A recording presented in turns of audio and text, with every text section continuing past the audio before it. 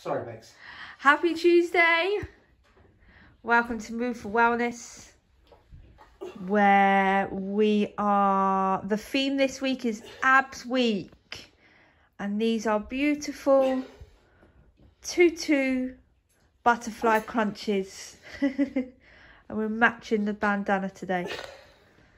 So, as you can see, David is flat on his back, feet together. He's abducting his legs and his hands are in an arrow position. He's tapping the ground behind him. This one you can make a little bit harder by a full range crunch and tapping in front of your toes if you can. but not after an hour's beating. men with out as you raise up. So you always remember to exhale on excursion. Excuse me. God bless you, many moons. That's it, well done. Good. So nice, slow and steady.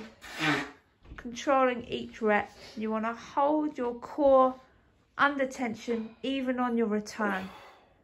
That's it. We're pulling your belly button through to your spine and we're trying to avoid that rib that rib flare. We're tucking our pelvis upwards to the ceiling. And our feet remain together. That's it. Well done. Interesting how feet tend to move when you're doing it. Nice full range, making sure you are clearing your shoulders from the ground. And you're staying super strong with that proud chest. Well done.